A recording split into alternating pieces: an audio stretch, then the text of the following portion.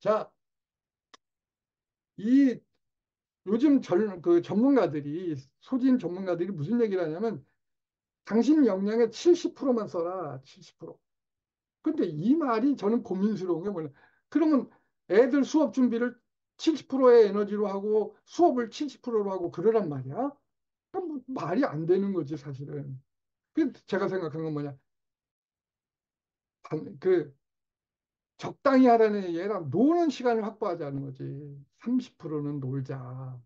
어, 이렇게 자기 인생의 30%는 놀자고. 그 노는 거 어떻게 놀아요? 여기 노는 기술을 모아놨어요. 여기 제가 전국으로 다니면서 제가 강의를 가면 꼭 이 거기 볼 만한 곳을 들러서 이렇게 한다는 거지. 그래서 여기 어, 조치원에 갔다 또 예?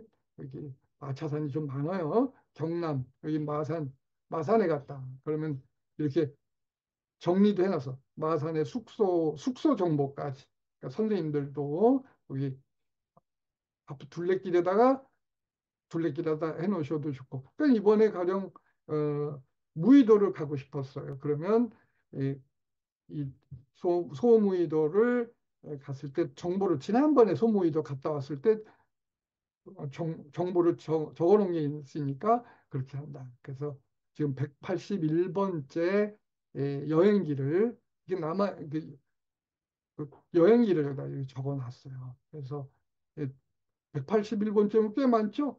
예, 선생님들은 선생님들은 저보다 그 젊으시니까 퇴임할 때까지 천 번까지는 만들 수 있지 않겠어요? 그렇게 해서 어, 잘 놓으셔야 되겠다.